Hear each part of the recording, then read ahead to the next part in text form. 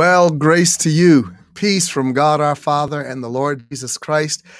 I bless you tonight with wholeness and benefit, with prosperity and with favor, with the blessings of the Lord that make one rich and add no sorrow to it. May the Lord blessings come upon you and overtake you as you hearken diligently unto his voice. I want to uh, welcome you tonight to the Global Pentecostal Perspectives live stream. I'm so excited that you're here. I'm so uh, uh, happy to see each and every one of you on the stream on tonight. Do me a favor. Good evening, good evening, good evening, and weigh in. Let me know where you're coming in from. I see you all the way from Chicago and from Long Beach, California, and from Poughkeepsie, New York. I see you coming into the stream on tonight. Will you do me a favor? Will you weigh in wherever you are, whether you're coming in by way of Facebook, whether you're coming in, all right, from Huntington, West Virginia. I see you. I see you, uh, uh, Pastor Michael. I see you tonight. Amen. From uh, Port St. Lucie, Florida. Uh, Jeremy Harper, I see you on tonight. What a blessing to have you on the stream with us. Many blessings from Columbus, Ohio. Manor House in Columbus, Ohio. Some uh, particular things happening in Columbus, Ohio coming up real soon. um, I'm not going to talk about them over the stream, but just know uh, there's some really, really important stuff happening uh, in Columbus, Ohio. Not only is it the place of my rearing and my hometown, uh, but there are some really important things that are coming uh, coming forth in Columbus and from uh, coming to Columbus, Ohio, in the name of the Lord Jesus Christ. All right, Reading, Pennsylvania, Jacksonville, Florida, good. From the Chicagoland area, good, good, good. So good to see each and every one of you. The Lord be with you. Elder Judy, all the way from the booming metropolis of, of Decatur, Georgia. So good to have you on with us on tonight tonight in Jesus' name. What a joy. What a joy and a privilege. Y'all know what we do. Tell a neighbor, tell a friend, tag and, and share and like and subscribe. Let somebody know Baltimore's in the house. Yes, indeed.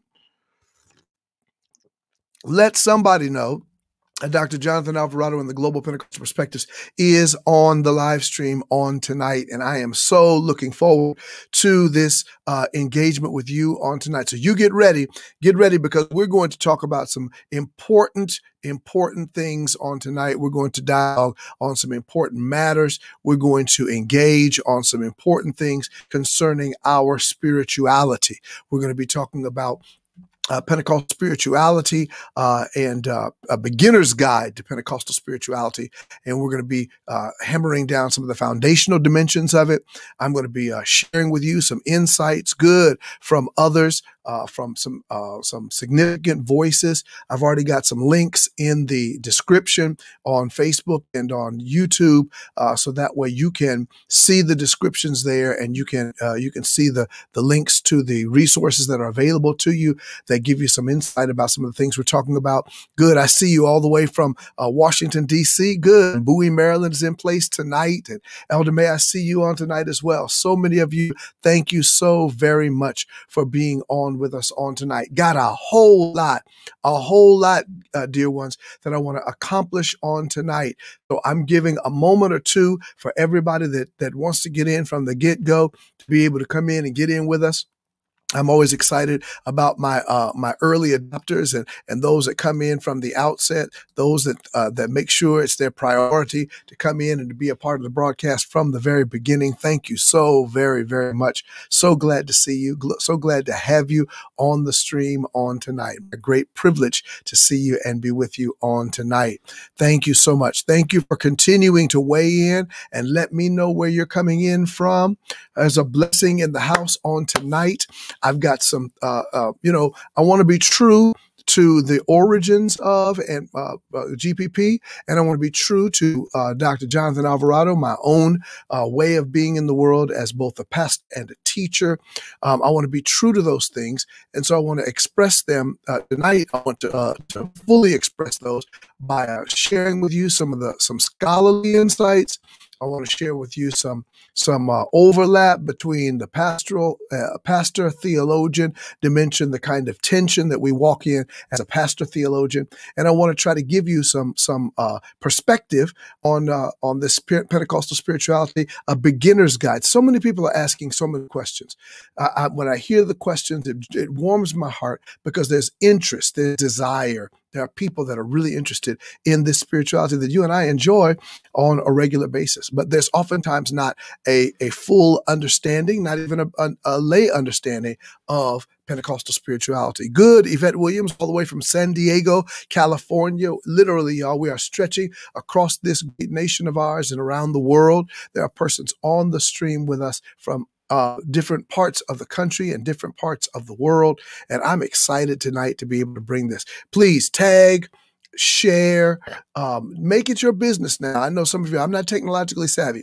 Make it your business to share the post with somebody. Share on, if you're on Facebook or on YouTube, you can hit the share button right now and it'll put it out. If you're on YouTube, it'll put it out on your Twitter, it'll put it out on your Facebook. And I'd like for you to do that on tonight. It helps us to be able to spread the message, okay? And speaking of the message on tonight, I've got so many great and wonderful things that I'm going to share with you tonight. Uh, but I want to appreciate you. Thank you so much for tuning in to Global Pentecostal Perspective.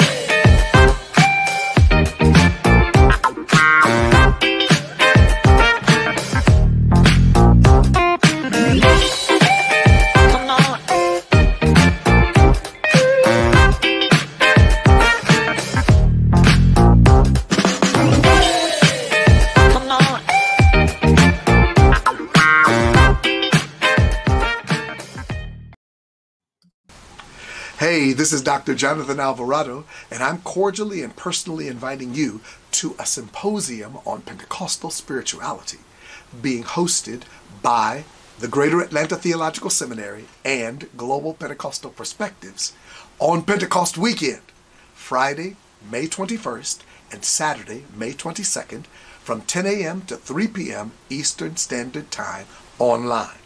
I want to encourage you to register and be a part of this life-changing event. We have wonderful guests, guest lecturers, and guest interlocutors that weekend in the persons of Dr. Estrelda Alexander of the William Seymour Foundation in Bowie, Maryland, the author of Blackfire, A History of Afro-Pentecostalism, and Dr. Robby Waddell, New Testament scholar, early church historian, Pentecostal scholar in Southeastern University, Lakeland, Florida. They too will be with us on that weekend, instructing, encouraging, answering questions, and guiding us into this spirituality. You do realize that Pentecostal spirituality is the fastest growing spirituality of all the Christian traditions around the planet. You and I should be together on that weekend to dialogue, to discuss, to pray, and to hear from the Lord.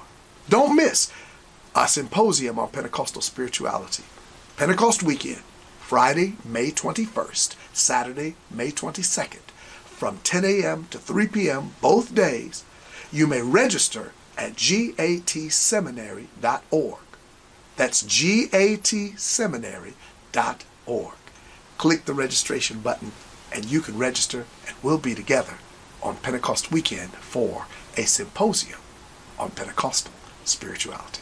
I hope to see you there. Indeed, I do. I hope to see each and every one of you there. Please register. This is the week of the event.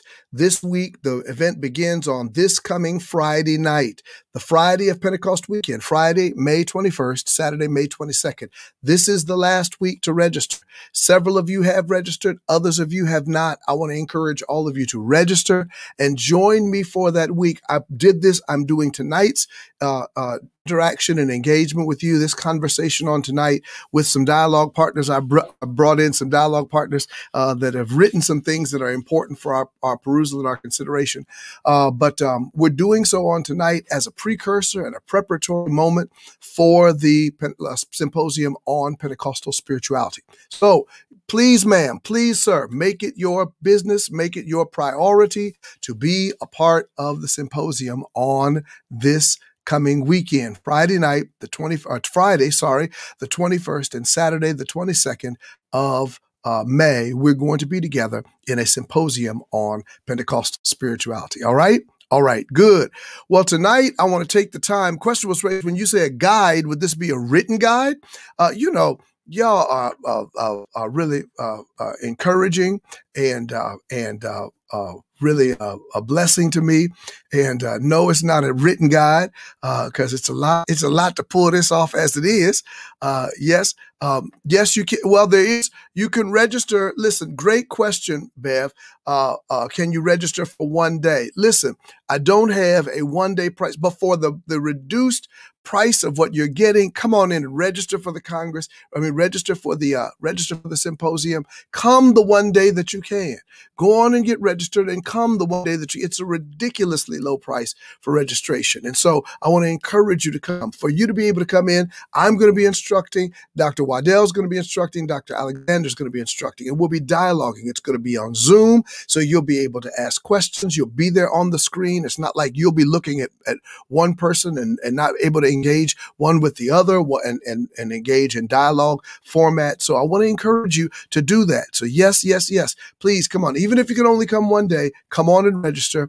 Uh, it will be a blessing in your life. All right. Uh, Pentecostal spirituality is a vast swath of information, which is why this is a beginner's guide. This is to get you thinking. This is to point you in the right direction. This is to give you some food for thought and some tools to be able to engage with this spirituality. All right. All right. Good. Thank you. Thank you, doctora. Gracias. Muchas gracias. She said the quality of this video looks amazing. No, not new equipment. Um, uh, but uh, well, we're always uh, leveling up our uh, our our studio, our stream studio, and the like. Um, I just did a um, I don't know if it's on my, I can't remember if I put it on my YouTube channel or if I put it on the GPP Global Pentecostal Podcast. Um, my top five, uh, I think it's on GPP, my top five, uh, uh, tips for leveling up for for doing ministry in a digital environment. My top five tips for doing ministry in a digital environment. So i talked about leveling up your uh leveling up your uh your technical aspects of it. So that's one of the things. So check that out. Uh, check that out. Uh, the, the, that, uh, that video that I've done. I've already put it out there. So you can check that out at, at your leisure. All right. Okay. So please, ma'am, please, sir, will it be recorded? I'm assuming you're talking about the symposium. Will it be recorded? Um, uh, no, it's not. The the symposium will be recorded, but it'll be recorded for archive purposes. It's because uh, it's a paid registration, and so I'm I'm maintaining it for the people that are are, are, are registered for Congress. Okay. Um, and of course, I have had Dr. Alexander on as a guest before, and I will have in the future Dr. Waddell on GPP.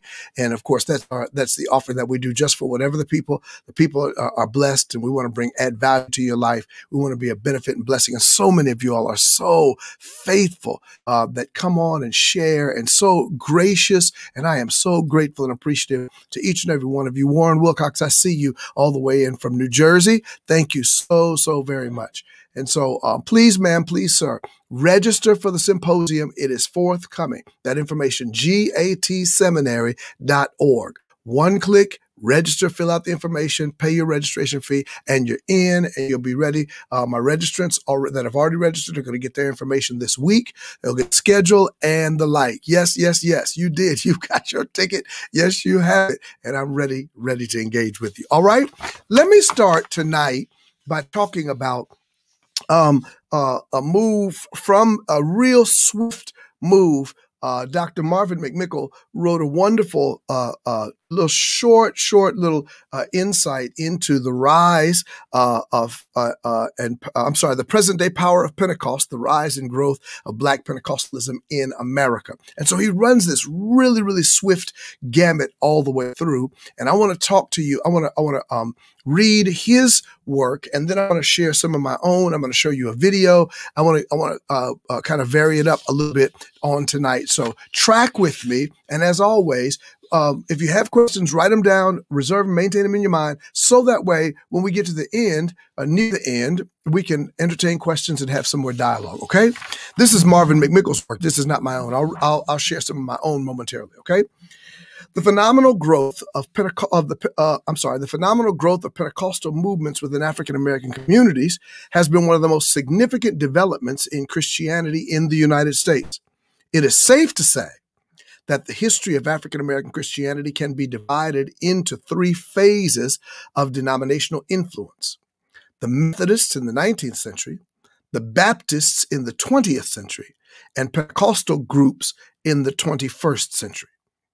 The 19th century was undoubtedly the century when various Methodist bodies held the most influence. The most dominant of them were the African Methodist Episcopal Church, founded in Philadelphia in 1816. The African Methodist Episcopal Zion Church, founded in New York City in 1822, and the Christian, formerly colored Methodist Episcopal Church, CME, founded in Jackson, Tennessee in 1870.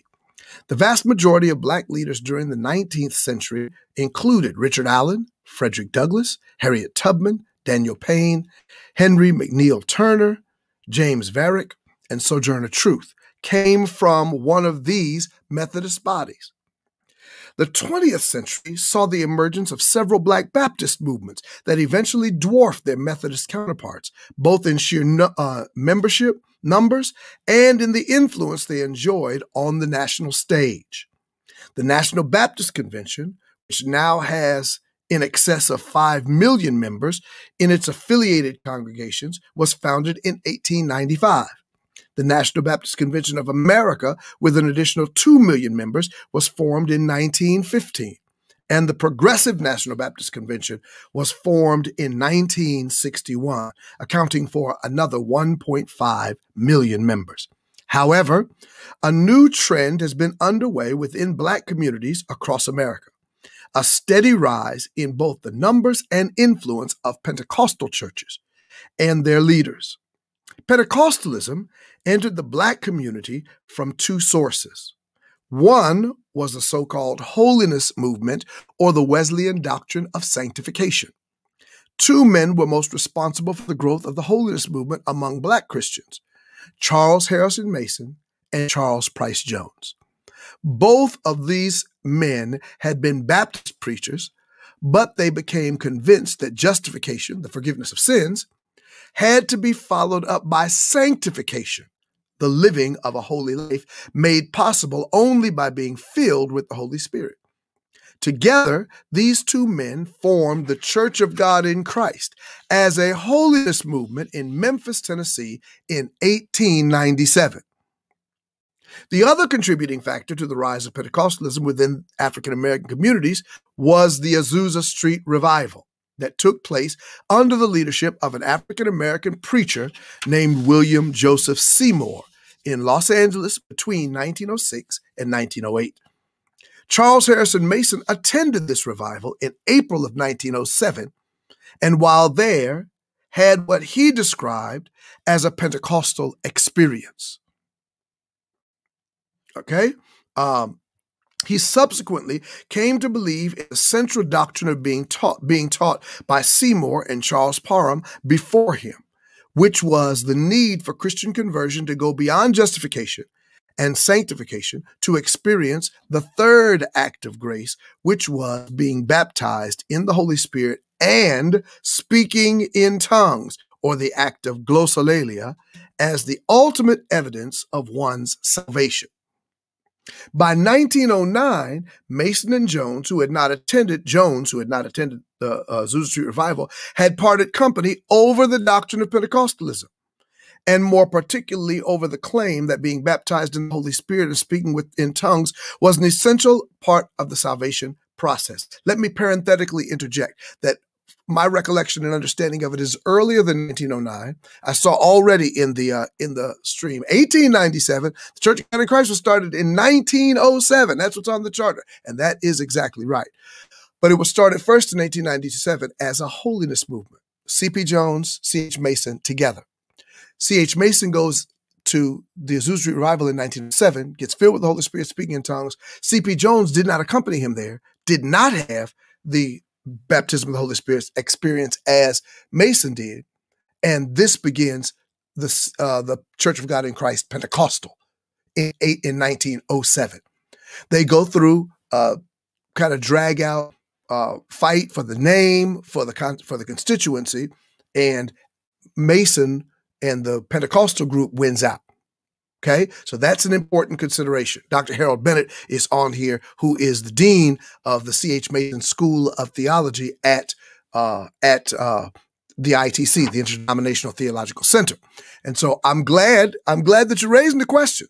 I'm glad that you're asking. 18, uh, 1897, yes, but but we've got to understand the Church of God in Christ Pentecostal was established in 1907 uh, behind the parting of the ways, theological parting of the ways of C.H. Mason and C.P. Jones. Okay, C.P. Jones uh, went on to establish holiness movement and carries on uh, uh, along that wise. Great hymn writer and uh, uh, and a great theologian in his own right.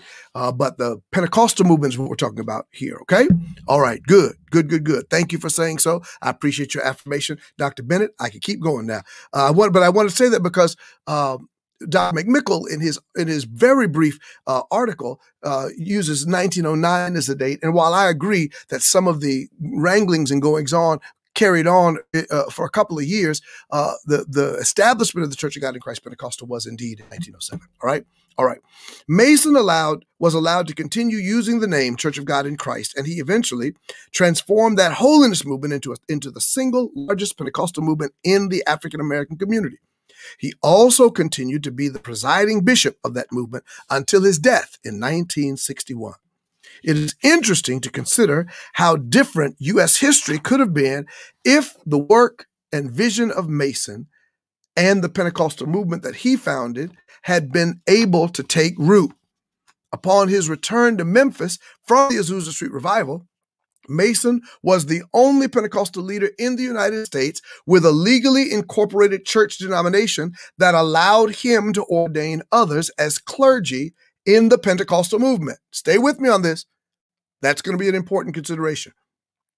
Thus, from 1909 to 1914, Mason was the leader of an interracial religious body headquartered in Memphis and he exercised oversight and authority over more than 300 white Pentecostal preachers who had been ordained into the ministry through the Church of God in Christ. Let's be abundantly clear. Hear his claim, hear the history. C.H. Mason's establishment of the Church of God in Christ was the only legally incorporated church Pentecostal church denomination, giving him the legal right to ordain men and women. Listen to me carefully. At that time, people weren't flying around the country.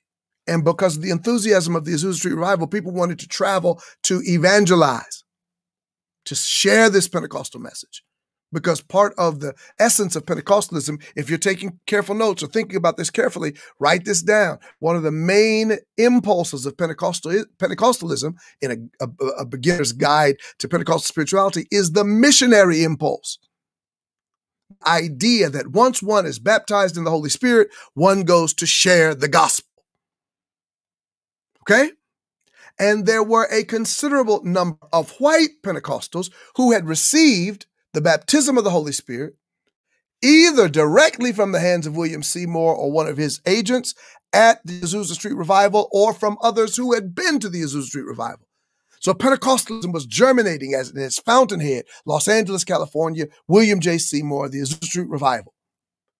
So in order for them to evangelize around the country, they had to have ordination to get reduced price rail passes. At that time, clergymen could get rail passes at discounted rate if they held legitimate ordination from a legally recognized church body. The reality is that the only Pentecostal uh, organization that was recognized by the United States government at that time was the Church of God in Christ.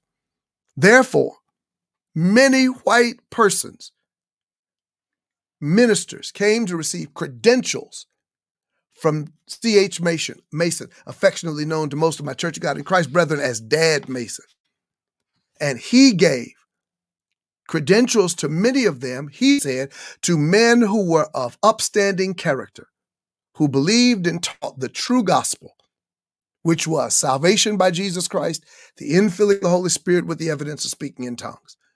And to those persons, he gave credentials numbers, as McMickle is, is saying, is over 300. We know for certain that 154 ministers came together out of Arkansas that needed ordination. And Mason sent signed ordained, ordination certificates with a few of them as a delegation to give to worthy men to be able to carry out the gospel. And that group became the assemblies of God. with their first president, E. N. Bell, Eudorus N. Bell, established in 1914, having received their the majority of their credentials from C.H. Mason. So ostensibly, Bishop C.H. Mason is the ostensible father of the Assemblies of God. The first of their ministers began as Church of God in Christ ministers, which is why Assemblies of God and Church of God in Christ polity and doctrinal statements are extraordinarily similar. The Church of God, in, I mean, the Assemblies of God have, have since, in their development, moved more toward a Keswick understanding of salvation and sanctification as a fourfold rather than fivefold work. And Church of God in Christ has retained a more Wesleyan holiness approach to sal- salvation. It's important that we understand this history because this history sets the record straight. I have precious friends, some of whom are probably watching the live stream on tonight, who have said to me, having grown up as cradle assemblies of God and gone to an Assemblies of God undergraduate institution, and perhaps even to the uh, Assembly AGTS, the Assemblies of God Theological Seminary, and did not hear of this history till they got in graduate or, or sometimes postgraduate work. And I'm a man of truth. I'm just committed to the truth. I'm just I'm just telling you the truth of the matter, and that is that Bishop C. H. Mason credentialed about 154 of the original ministers of the Church of God in Christ and other denominations, but I mean, of, of, of the Assemblies of God, excuse me, and other denominations. And for a, a, good bit of the earlier foundational years of both the Church of God in Christ and the Pentecostal movement in general, there it was a very integrated movement. There were white persons that were part of the Church of God in Christ, and there certainly are, as we will see momentarily, white persons in the Azusa Street revival. All right, let me keep going uh, so, so I don't lose uh, too much time here. All right. Like the Azusa Street Revival of 1906 to 1908 that had a tremendous interracial following, Mason and his largely African American Pentecostal movement were breaking down the walls of racial division through the power of the Holy Spirit, just as happened after Peter's sermon on the day of Pentecost in Acts chapter 2, verses 5 through 11. However, the prevailing racial policies of the United States at that time seemed to take precedence over the work of the Holy Spirit uh, over the work the Holy Spirit was attempting to accomplish. That was, after all, the zenith of the influence of the Ku Klux Klan, which was then centered in the state of Tennessee. That was also the period when African Americans were being lynched at a rate of one or two per day throughout the South.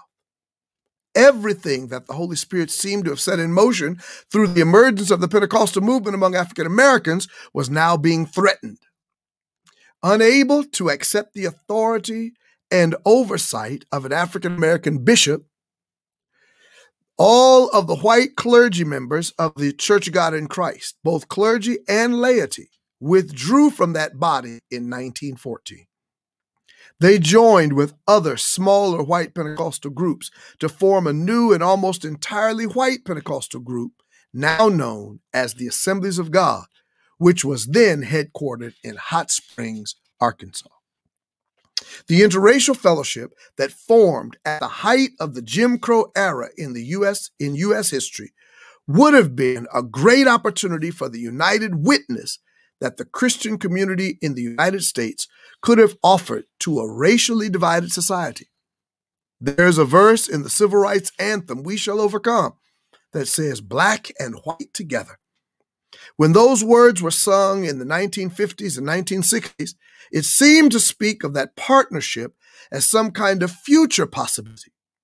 What most Americans do not know is that we had that opportunity within our grasp nearly a century ago when black and white Pentecostals came together around the ministry of Charles Harrison Mason and the Church of God in Christ. Sadly, rampant, vicious racial prejudice caused that spirit filled opportunity to slip away. And do we not see it continuing to slip through the grasps of the hands of men and women of goodwill, even today? Despite the division within the Pentecostal movement, the growth of that movement within the Af- African American communities is nothing short of phenomenal. At, and most of that growth has occurred within the last 20 to 30 years. The membership of the Church of God in Christ now exceeds 5 million, making it at least as large as the National Baptist Convention Incorporated. That was at the date of the writing of this article, which is about 15 to 20 years ago. And so the Church of God in Christ is now over 6 million members. Okay. However, while the total membership of the National Baptist Convention USA has remained static for the last 30 years, the Church of God in Christ has been the single fastest growing religious group among African Americans. One other group bears mention in any discussion of African Americans in the Pentecostal movement, and that is the Full Gospel Baptist Fellowship under the leadership of Bishop Paul Sylvester Morton Sr. This fusion of the Baptist church with the Pentecostal movement seemed almost inevitable. Paul Morton's grandfather was among the founders and early leaders of the Church of God in Christ.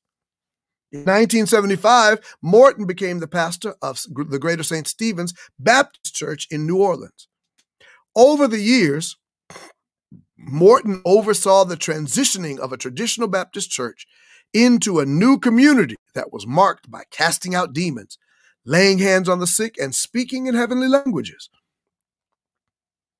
By 1994, Bishop Morton saw his blending of Baptist doctrine and Pentecostal fervor grow from a single congregation in New Orleans to a national fellowship that annually had over 50,000 delegates from member congregations around uh, uh, gathering in the New Orleans Superdome for a holy convocation.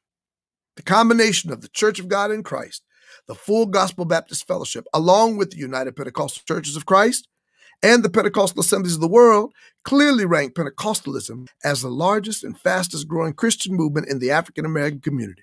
As in Acts 2:47, the Lord has been adding daily to their churches those who are being saved. I think that this history needs to be augmented to understand that Pentecostals and their first, our first cousins, charismatics, uh, and African indigenous churches and, and churches of indigenous spirituality that are, are, are, are spiritualist churches and the like are oftentimes categorized within the context of Pentecostals because of the shared spirituality. I told you one of the tenets of that spirituality is the missionary impulse. We've read in the article that one of the tenets of that spirituality is its enchanted nature. Tongue speech depicts at least two dimensions. One is enchantment, otherworldliness, mystical outworkings of the power of God that defy rationality and empirical evidence. The other uh, prong to speaking in tongues is another dimension of Pentecostal spirituality. I'm talking about a beginner's guide to Pentecostal spirituality. Remember, I've got links in the uh, in the I've got links in the description that will help you. I've got links of books that will help you. Books like Wolfgang Vondey's uh, Pentecostalism, A Guide for the Perplexed. That's a primer on Pentecostalism. Books like Mel Robeck's uh, The Azusa Street Revival and Mission. They give you the history of the Azusa Street Revival. Books like Vinson Synan's Holiness Pentecostal Movement in the United States. Okay, these are these are books that will give you the kind of historical and theological uh, uh, uh, on ramp to be able to begin this trajectory, because this is a beginner's guide to Pentecostal spirituality. But as I was saying before, this spirituality is shared by men and women from various and sundry uh, uh, walks of life and and uh, ecclesial and theological persuasions. And the reason that that is is because Pentecostalism is transposable. It's culturally transposable, more so perhaps than some of the evangelical imperialist colonial leanings of and missionary impulse of some of the colonizing uh, mission, uh, some of the colonizing um, uh, missionaries that came in and exported culture rather than importing Christ into culture. Okay, it's a whole nother dynamic that I don't have time to talk about necessarily on tonight. But I do want to talk about the beginnings of Pentecostal spirituality, a beginner's guide to Pentecostal spirituality. So you've heard at least three things the missionary impulse, embodiment, enchantment. We'll say a couple more before the end of our time. I want to talk particularly about worship on tonight because Pentecostalism fleshes itself out most fully, I believe, in seasons of worship. But in this moment, what I'd like to do is take a moment or two to talk about the progenitor of the modern day Pentecostal movement, the father of the Pentecostal movement here in the United States and abroad, in the person of William Jefferson Seymour.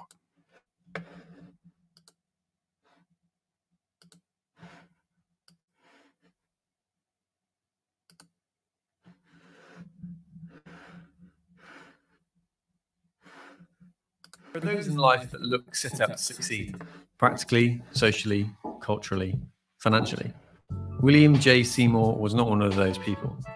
In fact, for him, it seemed like the very opposite. Son of a slave, blind in one eye, a young black man living in an intense racist environment, life didn't look like it was in his favor. Yet God used him, and he became one of the most influential African American Christian leaders of his time, and his impact can still be felt today. Seymour was born on the 2nd of May 1870 in Louisiana, and his parents, Simon and Phyllis, were both recently freed slaves. Not much is known of his younger years, but later he escaped the harsh prejudice of Louisiana to live in Cincinnati. However, there he suffered a bout of smallpox, and the attack caused him to lose his left eye.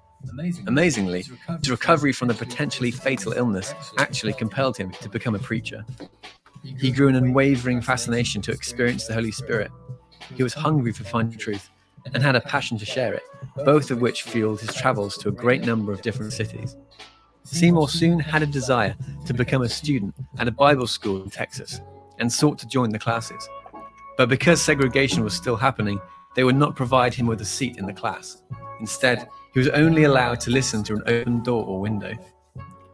His attendance did not last very long as he grew sick of the racism he believed that racial integration in worship was the true heart of Christ. However, from the teaching he did hear, he realized the power that was the Holy Spirit and what it meant for him. Seymour was led to move to Los Angeles, where he wasted no time in making his presence felt. A kind couple called Mr. and Mrs. Asbury offered to host some gatherings in their home, where Seymour could preach and pray. And on April the 9th, 1906, God began doing something in the hearts of people that was wild and real and they continued for three nights. As excitement increased about these events taking place, more and more people came to witness the meetings, and the Asbury home quickly became too small to accommodate the services. So, Seymour moved the congregation into an unused church building on Azusa Street, which was, at the time, being used as a warehouse. Congregation, made up of people of all races, cleaned out the building and then filled the interior with makeshift furnishings. The pulpit was made of two boxes nailed together, and the seats made from planks nailed to empty barrels. Seymour made his home on the floor above the church and began holding services three times a day, seven days a week. A diverse array of volunteers helped assist the gatherings, black and white, men and women. It gained national attention as the Azusa Street Revival and was a huge catalyst for the expansion of the Pentecostal movement across the world. The Azusa Street revival was always filled beyond capacity, as it attracted more than a thousand people a day and had a reputation for wild scenes of passion and prayer. People were amazed that Seymour, from his unlikely and humble beginnings, had realized his vision of a completely integrated church community alive with the Spirit of God.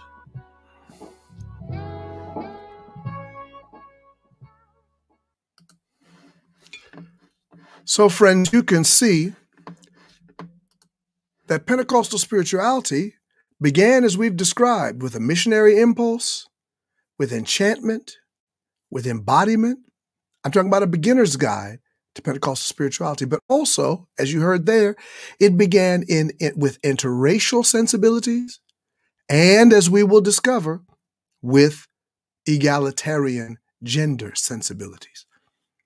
So, if we're going to talk about Pentecostalism, the Pentecostal movement, in the codification of its spirituality and practices, those things were established in the movement within the first decade, perhaps 15 years of the movement.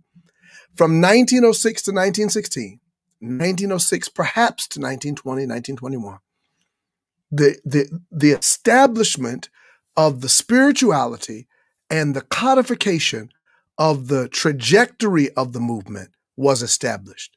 It was established experientially rather than doctrinally. It was established in narrative and testimonial ways, meaning that people would have experiences, they would share their testimony, which oftentimes turned into exhortation, which oftentimes turned into preaching. And in so doing, those impulses became the foundational work, the foundational substratum, perhaps the foundation itself of the entire movement. Now, while there had been movements around the planet of others that had minor outbreaks of tongue speech, ecstatic expression, ways of, of enchanted engagements with the Holy Spirit, none were as sustained, none were as visible, none were as, as catalyzing as the Azusa Street revival which was led by a one eyed, differently educated black son of former slaves in the person of William Joseph Seymour. I emphasize this because there has been a major move afoot as Pentecostalism has gained traction and has become the dominant spirituality of Christian spiritualities around the planet to repristinate the origins of American, North American uh, Pentecostalism, which has influenced so much of Pentecostalism around the world through its missionary impulses. Though others, because of the transposability of Pentecostal spirituality, other cultures have been able to embrace it without breaks, and, like in, in in South Korea and in and in various other parts of the world, there have been outbreaks earlier and in similar time frames as the early 1900s, but none have been the fountainhead of Pentecostalism like the Azusa Street Revival, which was headed up by William J. Seymour. As much as I do not want to call his name in this, the name that you'll hear oftentimes to reassign fatherhood of movement will be to that of Charles Fox Parham. I even saw Dr. Bennett, one of our precious colleagues, has written a book and has definitively uh, uh proclaimed by edict or fiat or historical uh, uh, research, as they have called it, that that Parham was is the father of the movement. I'd like to suggest that though he did have influence on Seymour, and though he was one of the earlier ones to uh, to proclaim, to articulate uh, uh, the fundamental tenet of the initial physical evidence of the baptism of the Holy Spirit is that of tongue speech. No doubt about it. Charles Fox Parham. But God did not use Parham to establish the movement as he did Seymour. So Parham was not, you're asking the question, and I am definitively saying Parham was not the father of the movement. The major, many persons, I won't say the majority because I don't know where uh, a lot of scholarly opinion is on that right now, but I know a great deal of scholarly opinion assigns the fatherhood of the Pentecostal movement to William Joseph Seymour.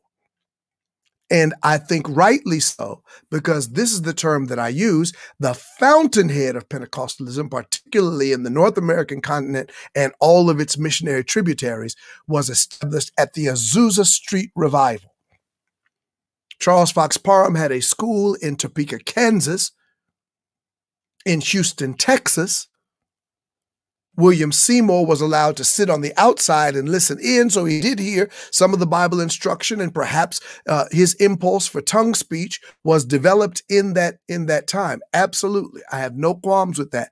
But the enacting of that and the actual outpouring of that was at the Azusa Street Revival, 1906, under William Seymour. Seymour sought to include Parham but when Parham saw that it was an interracial movement, he railed against it. and upon with Bishop with with uh, uh, uh, Elder Seymour's invitation when he came and saw Seymour invited him to come preach and teach, and when he saw that, he railed against the interracial nature of the movement, and his racist impulses and tendencies came out. If you look at the earlier apostolic faith newsletters that were produced by the Azusa Street Mission, you'll see that Parham was included as uh, William Seymour's overseer. But later on, in 1907, right about the top of 1907, he was removed from from the uh, uh, Azusa Street, uh, from the Apostolic Faith Messenger. He was removed from it because when he came out, he and William Durham and several other white Pentecostals at that time tried to, because the, the, the movement was so dynamic and vibrant and vital, they tried to come and take it over. And Seymour recognized that it was his stewardship. Azusa Street was the seminal event of the outpouring of the Holy Spirit, the fountainhead of North American Pentecostalism. And so I agree. Seymour was the father of the movement. This is an important consideration. It seems to me that some of our white brothers and sisters are seeking to uh, give a particular place to Parham that I, I believe is, is both historically inaccurate and psychologically damaging, as if th- there's no contributions that we as persons of color have made to this broader schema. And now that it's the fastest, the fastest growing, the numerically going to be the largest. I mean, we're rivaling. We're now coming up in terms of global Christianity, 7.2 to 7.5 billion people on the planet. 2.1, 2.2 billion of them are now uh, uh, Christian. 2.2 billion persons on the planet, 2.1, 2.2 billion of 7.2, 7.5 billion persons on the planet are Christian. The rival going back and forth, who's bigger, Islam or Christianity? And all the Christians say it's Christianity, the Muslims say it's Islam. The point that I'm making is Pentecostalism represents a full one third, coming up to one half of all Christians on the planet. Now, this is an important consideration because we haven't had 20 centuries to do this. We're Pentecostalism, the modern Pentecostal movement, is only a bit over 100 years old. So all of this growth and expanse has taken place within the last 100 years of the 2000 year history of the church. That's significant. That not only have we grown, we've grown fast, and we've grown when allowed to, grown grown in in cultural iterations that have adaptable spirituality, that see their spirituality. You see, when white uh, colonial missionaries came to Africa, they told Africans that the way that they expressed their spirituality through dance and embodiment and trance and vision had to be completely stopped. So their culture had no place in white missionary religion, Christianity. But Pentecostalism, birthed out of African spirituality, is welcoming of the kind of ecstatic, enchanted expression that is African spirituality.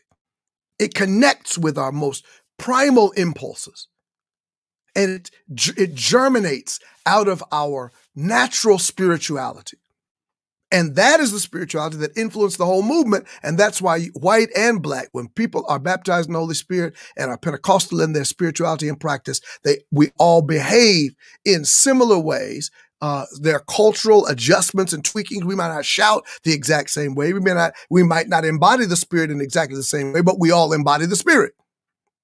We may not all speak with tongues in the same way, but we all speak with tongues, or many of us speak with tongues. These are important considerations when we're thinking about the, uh, a beginner's guide to Pentecostal spirituality. Well, one of the major, major dimensions uh, of, of Pentecostal spirituality is in the area of worship. You see, the Azusa Street revival was so because it was a prayer meeting, a dimension of worship, preaching, a dimension of worship, deliverance, a dimension of worship, and the infilling of the Holy Spirit, which is a very sacramental dimension of worship.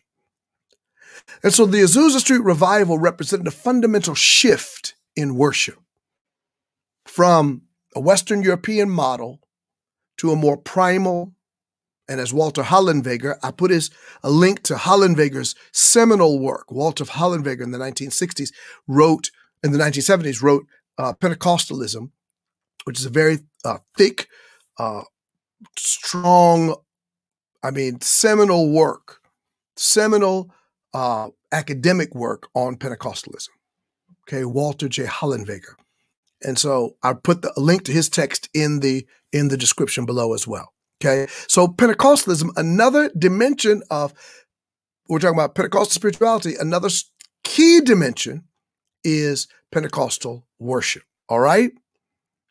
Let me. So I'm going to say a couple of things along that wise. I, now this this work that I'm about to em, embark on is mine. I read McMickle's work earlier, and this is mine. The Azusa Street, the worship of the Azusa Street revival was a great departure from the worship of many churches ex- existent at the beginning of the 20th century. It represented a fundamental shift from the norm of Christian worship up to that point in American religious history. Though its practices were deeply rooted in the worship traditions of African American slave religion and American revivalism, its adherents reinterpreted Azusa Street worship and gave new meaning to Christian devotion, tongue speech, and ecstatic behavior. Historians and theologians are now beginning to recognize the shifts in tides, shifts in tides of worship represented in the Azusa Street revival. Also, they are, they are now beginning to recognize the theological and interpretive shifts that the spirituality of Azusa Street necessitates in order to be fully understood. Thus, Azusa Street worship has emerged as the paradigm for Pentecostal charismatic spirituality in North America. This essay analyzes the worship of the Azusa Street Revival, seeking to discover its shifting spirituality and its influence upon subsequent Pentecostal like movements. The analysis of its tenets and practices served to move the conversation toward an African American Pentecostal theology of worship the term Pentecostal should be understood in the broadest possible terms whenever I use it. Its usage will encompass classical Pentecostals, neo Pentecostals, and charismatics. This essay seeks to explore what gaps in scholarship can be identified and what areas of inquiry require future scholarly attention.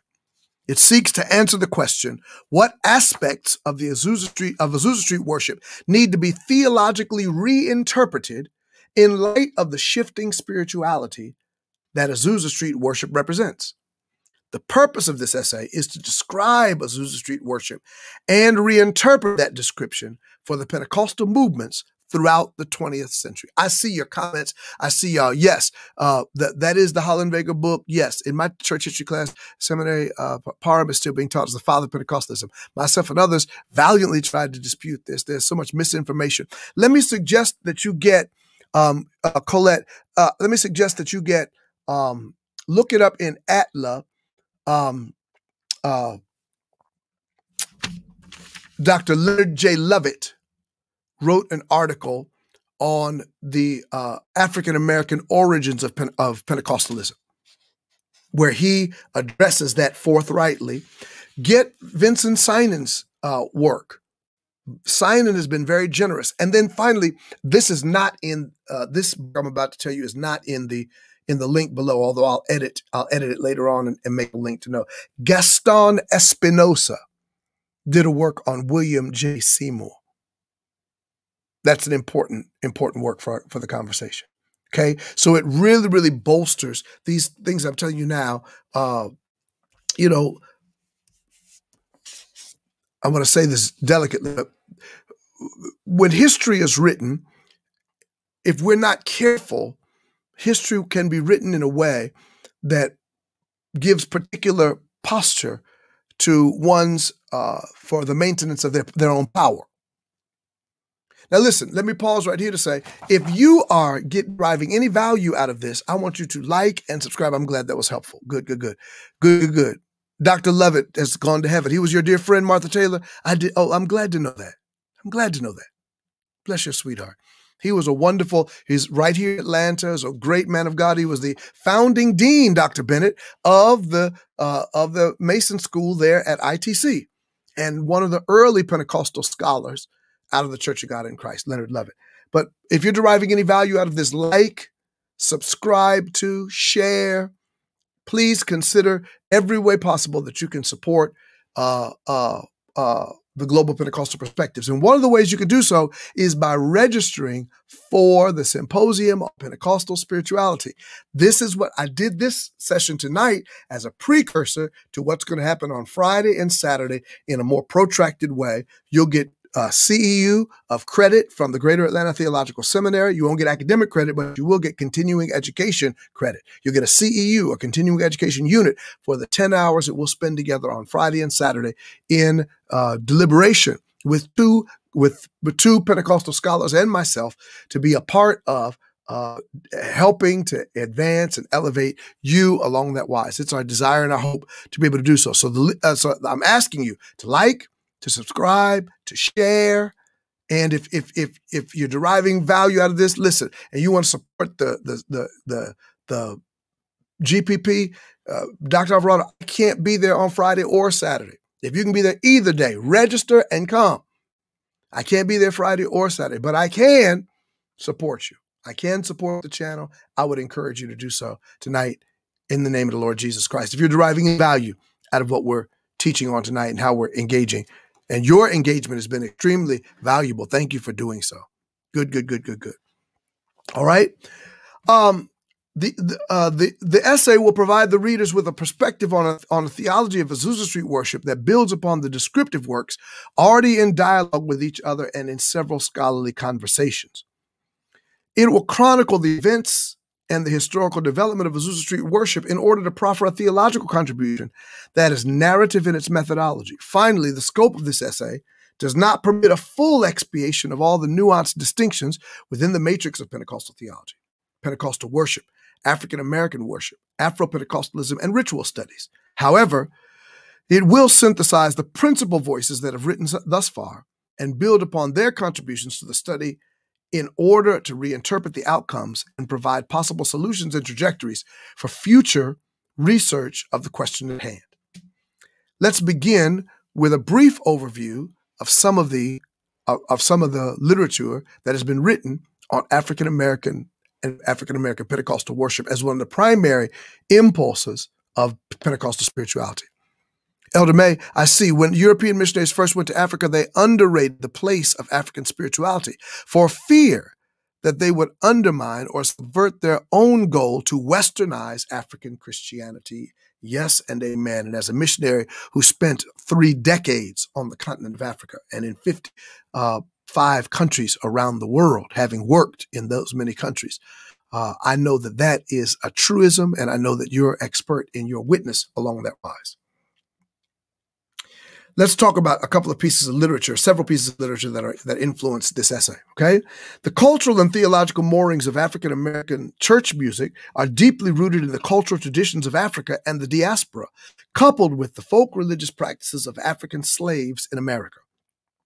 Thus, African Americans are a musical and effervescent people who celebrate the whole of life in story, in song, in dance, and in drama. This religious celebration of life takes on spiritually formative characteristics in the holiness and Pentecostal traditions of worship.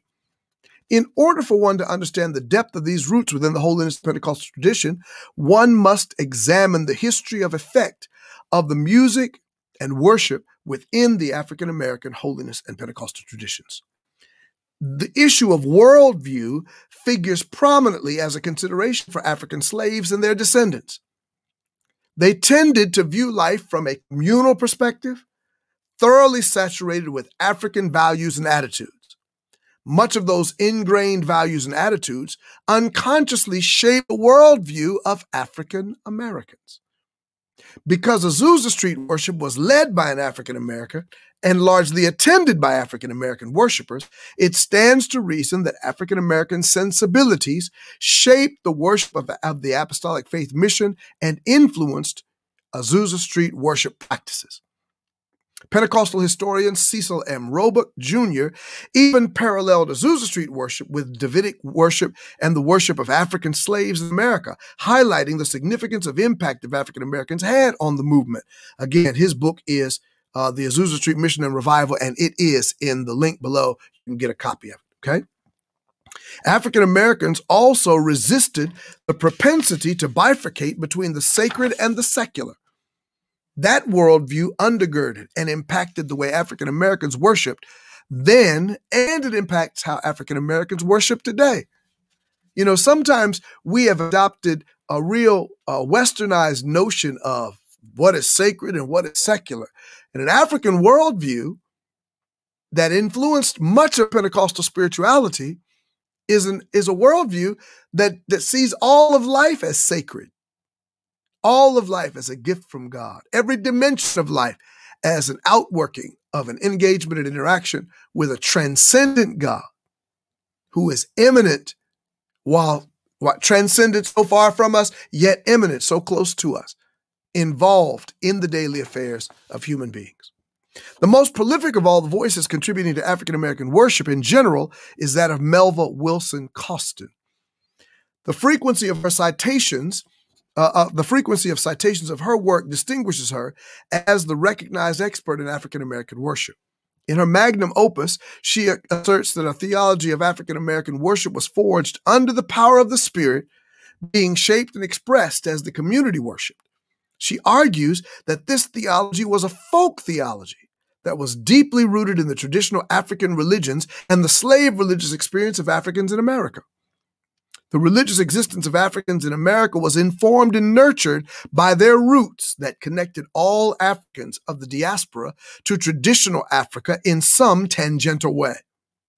She asserts that African American folk theology stands in stark contrast to the epistemological framework of Western worship theology, so heavily influenced by Platonic thinking and practiced by Europeans in America.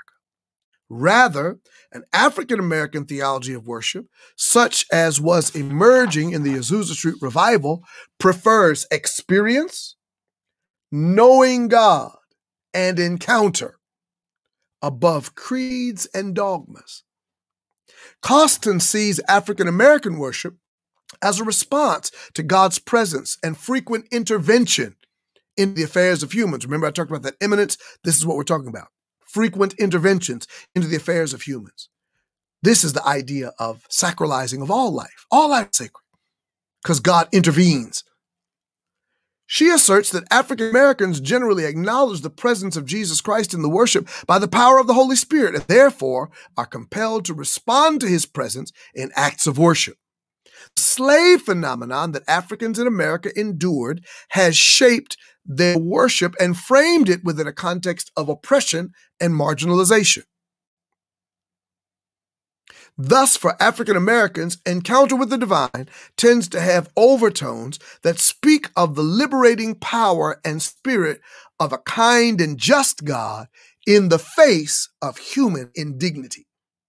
So I'm drawing a distinction now between how African Americans approach the same God that our European counterparts approach, but we approach that God from the perspective of and the vantage point of oppression and marginalization. Okay, I see several of you all. Uh, I see some of you all that are that are that are putting uh, the uh, yes, yes, yes, uh, some of the the books there. I want you to first first consider the things that I have in the description because when you when you click on the links that are in the description that I've provided for you, you help the channel.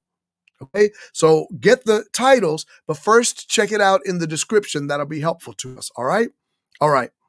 Cost Melva Wilson, Wilson Costen also taught at the ITC. She was a Presbyterian woman, but she has written the definitive work on the magnum opus, in my estimation, on African American uh, uh, worship, and thus she's she's cited thusly by many many uh, scholars of worship, and has, has has been a major major contributor along that wise. And she speaks of from her Presbyterian vantage point how African American worship was worship of Jesus Christ under the power of the Holy Spirit. Consider that.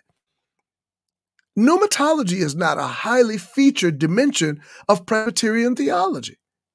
Yet, as an African American, she understood how important spiritual and enchanted otherworldly impulses are for African American spirituality, which influenced Pentecostal spirituality that imbibes the same Pentecost, those same spiritual impulses.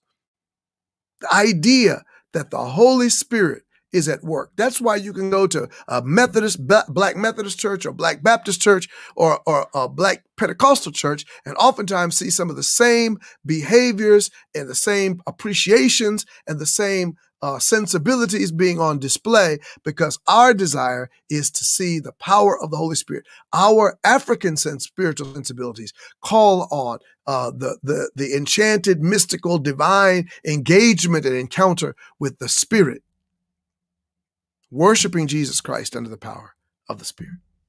Okay? Costen asserts that a theology of, res- of response has been axiomatic in the, in the history of African American worship, whether that worship was Christian or not. Listen to it a theology of response has been axiomatic for African spirituality, whether that worship was Christian or not.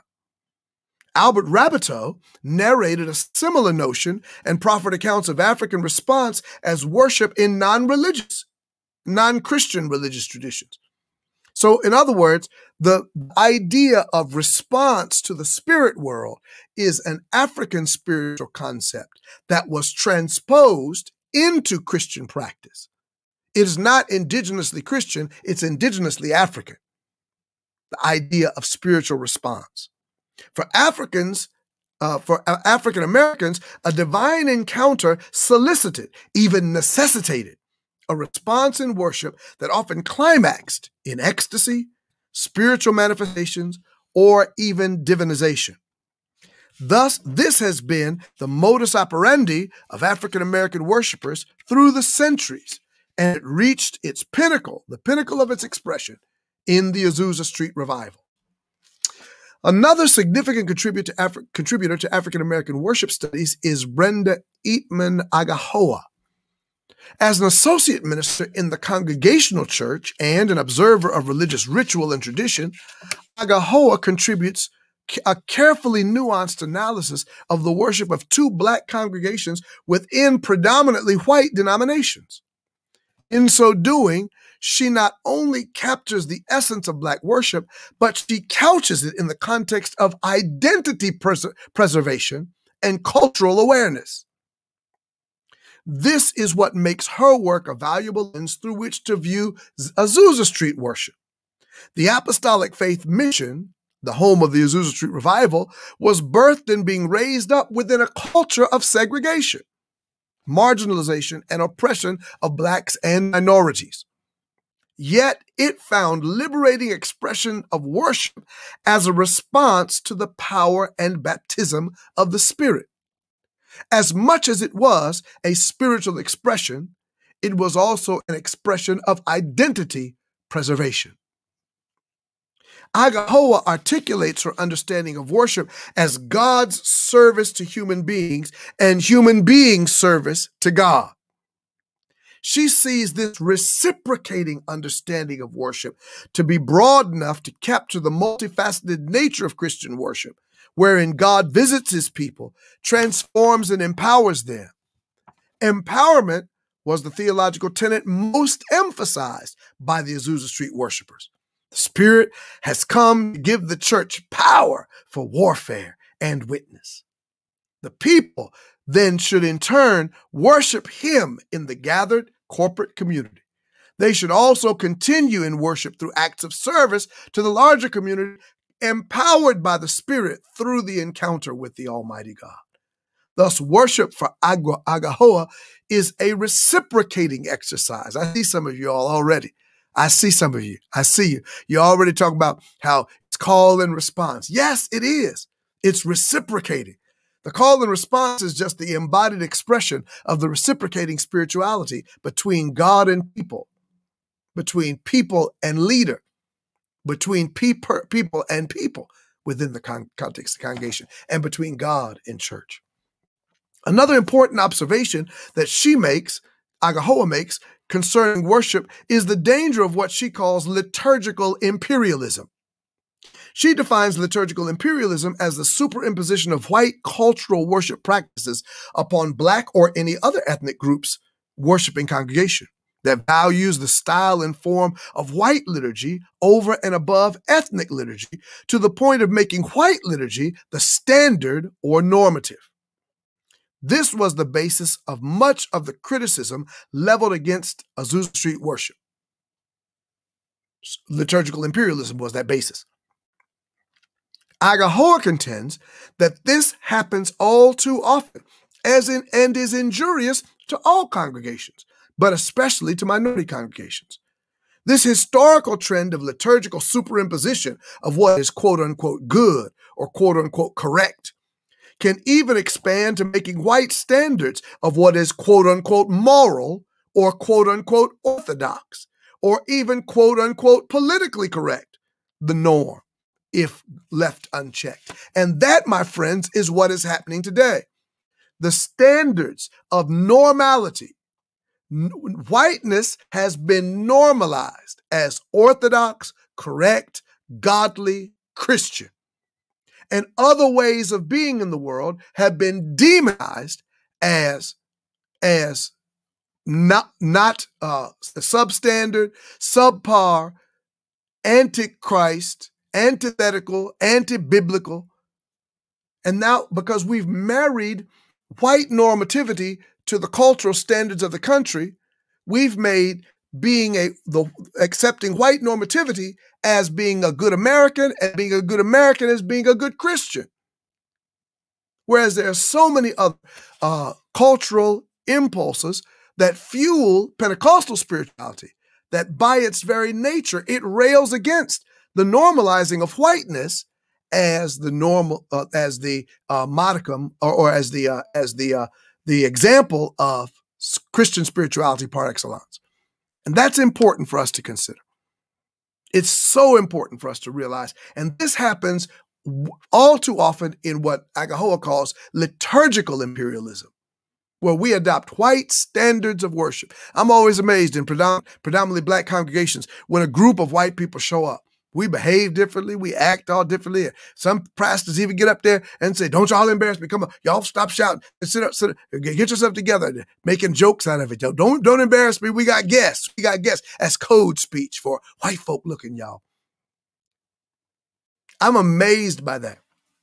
I'm amazed by that. So, Carl, uh, okay, so Carlisle Fielding Stewart III significantly contributes. I'm moving to another author now to an understanding of African American Christian worship in his book Soul Survivors, an African American spirituality. In it, he asserts that African American worship is a spiritual and cultural exercise toward human freedom that is connected to African ritual roots and empowered with what he calls soul force. Carlisle Fielding Stewart. Now listen to me carefully. I, got I got to move. I got to get ready to bring bring it to a close. I won't get anywhere near done with this, but I think this is important. Carlisle Fielding Stewart says that African American spiritual worship, um, African American worship, is a spiritual and cultural exercise. Now, I want to say this about Pentecostal worship that I agree, and that its roots in African American worship make Pentecostal worship as a major tenet of understanding Pentecostal spirituality. It is both a spiritual and a cultural exercise. I earlier spoke of the cultural transposability of Pentecostal spirituality, how it transposes to various cultures very easily, that, the, that, that there's not a whole lot of that there's not a whole lot of contortion that needs to take place the culture or to the spiritual expression that they mesh and work pentecostal spirituality engages people where they are. This is an important significant consideration precious dears. And i think that it is one that's been understated because our our european christian liturgical and and and doctrinal imperialism colonizing Christianity, has made purity tests for orthodoxy based upon standards of white normativity that automatically disqualify persons made in the image of God from being able to ascend unto or attain unto those that, that particular normative spirituality. I will never be white. And it, since that is in many of their minds the standard for Christian normativity, then I have to talk in a way that makes them comfortable, dress in a way, worship in a way, engage in a way, believe in a way that makes them comfortable, that acquiesces to and denies my own spiritual self agency in the planet. And as uh, just this, this is a, the scratching the surface. This is a beginner's guide to Pentecostal spirituality. One of the, another tenet of Pentecostal spirituality is spiritual self agency. The liberative power of the Spirit to put you in touch with not only the God who is above us, but the God who is within us.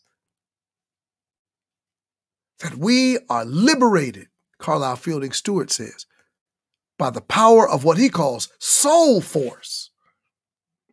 An engagement with the Spirit is to empower us to take on spiritual self agency, to be able to be uh, cooperatively and collaboratively uh, prescriptive of our, our spiritual destiny.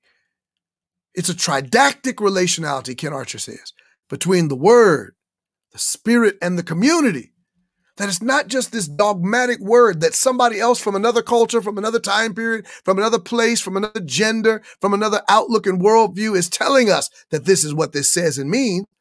But it's a tridactic relationality that gives us room at the table to exercise spiritual self agency in the early days of the Pentecostal movement, they used to ask if ones received their personal Pentecost. Now, I believe in the community. I believe that the church is being injured today because of the community. I'm going to do either either a podcast or I'm going to do a live stream on on what's killing the, the, the Pentecostal church today.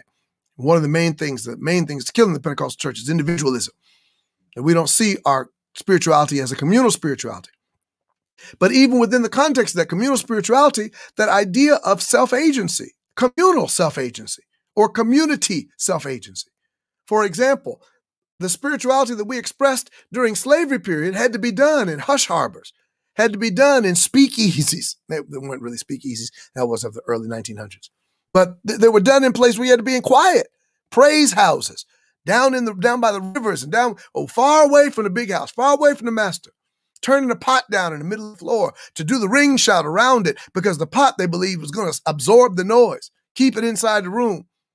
So that way they couldn't be found out by their masters because their masters only allowed them to worship in particular ways because they recognized that there was internal, intrinsic soul force, Carlisle Fielding Stewart calls it, that if they ever tapped into it, they could not remain slaves any longer. They would not be slaves in their mind. And ultimately, once their minds were freed by that soul force, then they would never be able to be slaves in body again. Pentecostal spirituality is an expression and outworking of that soul force, that intangible, in, in, uh, spiritual annulment that was endowed, uh, uh, we've been endowed with by our Creator. Yes, yes, you can go back and look uh, at the in the archives and see uh, uh, spirituality and the self hatred, countering the self hatred that comes. I think that was with um either Dr. Calvin Warren or Dr. Daniel Black was my was my guest on that night. And there's a whole there's a whole uh, there's a whole uh, live stream that we did on that. Go back through there and check it out. It'll be a blessing to you. Okay, so listen, I want to take the last few minutes. Um, this is a, my my my paper is 28 pages long, and I'm only on page eight. And uh, but I have to stop right here. I'm going to pick up. This is some of the the stuff that I'm going to be talking about this weekend. I'll have the two morning sessions. I have the Friday morning and I'll have the Saturday morning. Dr. Alexander will have the Friday afternoon and Dr. Waddell will have the Saturday afternoon. And so we'll be engaging in these. And this is some of the uh, the the dialogue we're going to have. This is some of the instruction that I'm going to give, the facilitation and the interaction that we're going to have. So that way we can understand Pentecostal spirituality in a more fully orbed, well rounded understanding. See, Pentecostal spirituality. Thank you, Dr. May, for being registered for May 21st and 22nd. Others, others of you, about 50 others of you tonight need to go on and register tonight. Bishop, I can't make every day. Go on and register. I can't make both days. Register and come on the day you can it will be a, a spiritual uplift to you. It will be, I want to provide things that, that give value to the community.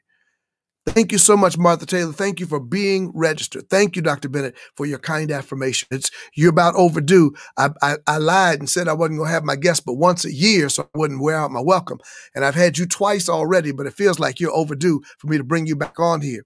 And as the eh, Dr. Bennett, as the people support, then I'm able to do better than I've done before. I'd buy you a hamburger before, and now I can send you at least to the steakhouse uh, if you come on before. If the people will help and support Global Pentecostal Perspectives. This live stream, uh, Dr. Liz Rios commented earlier. Man, it looks like your your your your your technology is so clear. It's so it's so this that, and the other. Well, one of the things that we've done, we've made personal investment in making sure that that we've gotten our gotten our uh, our streaming up to where it needs to be because we want to make sure that you can hear and see and experience the uh, Global Pentecostal Perspectives and Global Pentecostal Podcast in a way that both honors God and demonstrates excellence and in a way that helps you to be able to really drink deeply of all that the Lord is doing along that wise. Any of you all that are desirous of helping us along that wise tonight can do so by liking. If you haven't subscribed to, listen, if you have not subscribed to both my YouTube channel and the Global Pentecostal Perspectives YouTube channel, please do so. Johnathan Alvarado, I have my own YouTube channel. I have different offerings that come out on that. I'm, i do more mentoring, uh, mobilizing, and uh, and uh, in order for you to mastermind your future. That that's my that's my personal YouTube channel. It's uh it's uh it's it's different than GPP and it's different from Global Pentecostal uh, podcast. On this channel, I do a podcast that I'm bringing out once a week and a live stream every Saturday night. And those will have content that is more germane to Pentecostal spirituality.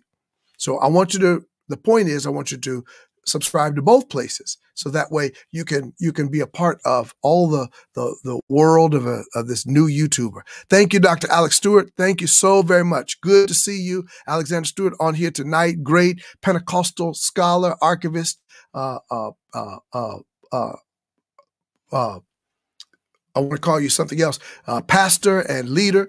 I'm grateful for your presence on tonight in the name of the Lord Jesus Christ. What a great, great, great uh, wonderful, wonderful uh, group of of learners and and Pentecostal adherents. Okay, we've got uh, about six minutes. Any other questions? Any other questions? Sign up for PayPal so I can give. Thank you so much. Thank you so much. That means such a great. You signed up for PayPal just so you could give to GPP. Thank you so so very much. That means a great deal to me. Any others of you that have any questions or comments or concerns, anything within the last five minutes of our time together on tonight? My only concern, precious dears, is that you will sign up for the uh, symposium that is forthcoming on this week. I'm gonna, I'm gonna, uh, uh, uh, starting on Monday, I'm gonna be putting everything out all over Facebook, all over YouTube, all over um, all over Twitter, all over Instagram, every place where I have social media presence. I'm going to be putting that advertisement every day to encourage you. So if you don't want to be bugged by me, you come on and register on tonight. Register tonight, tonight, tonight. Don't wait. Don't say I'm going to do it tomorrow. Don't say I'm going to do it next part, next week. No, get it tonight. Get registered tonight. That way, uh, we'll know who to expect. We'll know how to prepare. We'll know we'll be able to uh, to uh, to uh, how to operate. Good, great question. Here's a question can you clarify the Wesleyan approach versus the Keswick approach? And Keswick is actually K E S W I C K.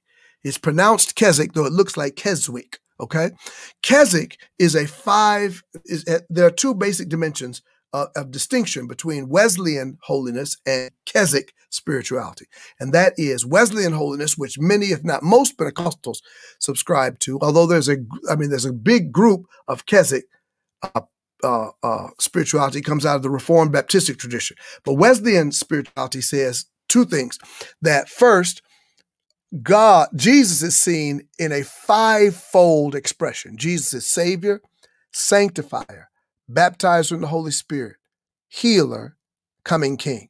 Five expressions Jesus, Savior, Sanctifier, Baptizer in the Holy Spirit, Healer, Soon Coming King. Okay? Keswick, and, and they believe in, pro, in uh, progressive sanctification. That as we live unto God and receive the Holy Spirit, and, and I, when I say receive the Holy Spirit, I mean they see sanctification, Wesleyans see sanctification as a separate crisis event. Salvation is first. I get saved. as the testimony goes. Then I'm sanctified as a separate crisis event. And once I'm sanctified, I can be filled with the Holy Spirit. So it's a progressive revelation. It's progressive sanctification. Whereas Keswick, which comes out of a Reformed and Baptistic tradition and Assemblies of God, many of them operate from this perspective. It's twofold. It's Baptistic in that it is positional. It is a it is a view. Wesleyans operate from a, a view toward the cross where our view is toward the mortification of our flesh and the deeds of our flesh and moving toward the cross to identify in solidarity with Christ. Keswick view is a view from the cross that says it's already done. Your position is stable. You're eternally secure. It's, it's that kind of thing. And it's an embrace of a fourfold gospel that expresses that idea of it's already done. They believe in Jesus as Savior, Sanctifier together, that you're sanctified the moment you're saved then you're baptized in the Holy Spirit. Then uh, uh, Jesus as, as baptized in the Spirit, Jesus as healer, and Jesus coming King. Fourfold gospel, Savior, Sanctifier, all in one, because they see it as a positional reality, not as a progressive reality. Okay? Wesleyans are more progressive than positional in that way. Okay? All right, great question. Great question. Let me see this. Is the Father, Son, and Holy Ghost totally Pentecostal? No. Trinitarian theology was part of the ante-Nicene tradition. I just taught this in the in the class that the seminary gave and we gave on uh, patristic theology one. Uh, the idea of the first four centuries of the church, they were hammering out the God, the Godhead, who is Jesus, Jesus' divinity, who is the Holy Spirit in this theme, how how they relate, you know, homoousios, uh, this idea of same substance of Jesus and the Father. He's the same substance. The the the filioque controversy that the Holy Spirit proceeds from the Father. And the Eastern Church says, uh, the Western Church says, and the Son. So they add this et philia, this filioque, uh, et filioque, which and which, which means and the Son. And so the Eastern Church rejects that, that that whole nine yards. So Father, Son, and Holy Spirit is not totally Pentecostal because 25% of Pentecostals are oneness. They believe in the Lord Jesus Christ. Jesus is the Father, Jesus is the Son, Jesus is the Holy Spirit. Okay? Some people call that from the from the patristic period. The ante-Nicene period, there was a term that it was labeled a heresy. They called it Sabellianism or modalism. Okay, dynamic monarchianism. These are all heresies surrounding oneness theology. Okay, now, that's what it was called then, but 25% of Pentecostals today are oneness Pentecostals. I want to be clear about that. And on them, I sense the Holy Spirit, and in them, I sense the witness of the Lord Jesus Christ. So I'm I'm not I'm not quick to call anybody a heretic, but I am I am open to the dialogue and and to, and to hearing and understanding. No one calls Jesus uh, that, that, that says, says Jesus Lord except by the Spirit. That's what the Word says. And nobody calls Jesus Lord except they do it by the Spirit. Okay. All right. Great question. A great question. Let me see. Uh, can you can you say something about C.H. Mason ordaining ministers who later became founders of the Church of the Nazarene? No, the Church of the Nazarene precedes uh, the Church of God in Christ. Okay, the Church of the Nazarene is a holiness church. Now, mind you, during that time, during the holiness movement of the 18th century, the the the the, the uh, John Wesley lived from 1903 to, uh, I'm sorry, 1703 to 1791. And so he, as the father of the holiness movement in the 18th century, then the 19th century full blown holiness movement coming out of Wesleyan spirituality, Wesley, Charles Wesley, George Whitefield, and others, these are the, the underpinnings of the holiness movement. Well, then out of that comes churches like the Church of the Nazarene. Here's the curious thing because they believed in sanctification as a second work of grace.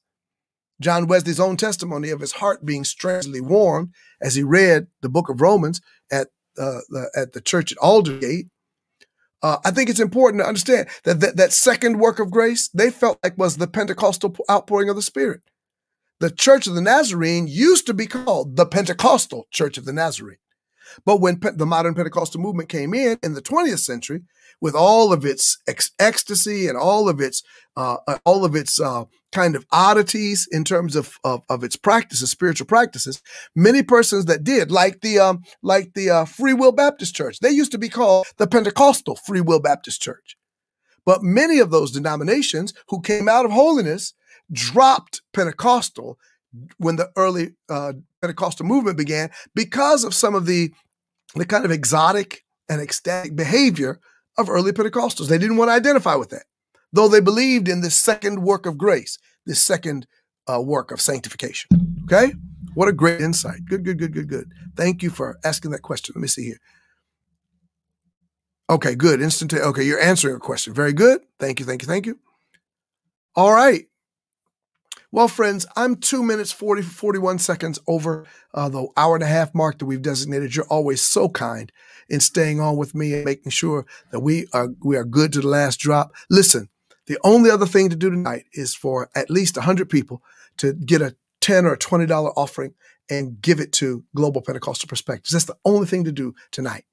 Other than to register for the symposium, the only other thing to do is to support with liking and subscribing and sharing and hitting notifications, telling neighbors and friends, and to support Global Pentecostal Perspectives. And if you do so, I guarantee you will be this will be a blessing in your life. We will be able to continue in bringing this kind of teaching, this kind of instruction, this kind of engagement, both with the spirit and with the community. Listen to me very carefully. I'm so strongly persuaded that this is a necessary necessary uh, uh, uh, uh, outwork or a, a necessary lighthouse for Pentecostal spirituality. I'm so convinced of it that I put my name, my reputation, my resources on the line to be able to do this. This started off as just a devotional, 20 minute, 30 minute devotional for my church on Saturday nights.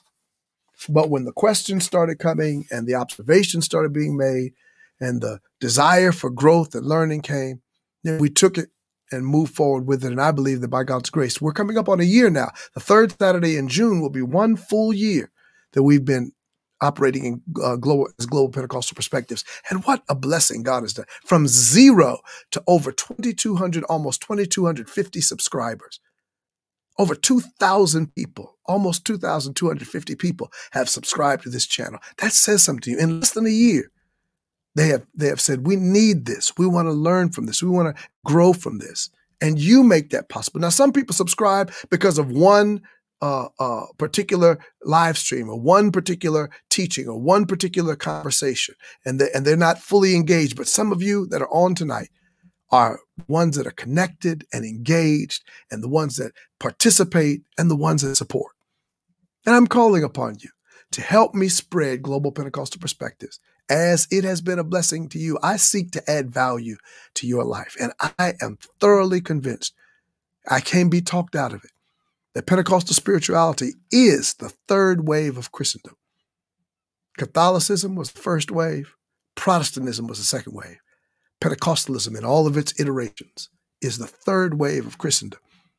And those that are not engaged in it and leaning in and drinking deeply of it are going to miss out on some of the wonderful things that the Spirit of grace is doing in this hour as she leads and guides us into all truth.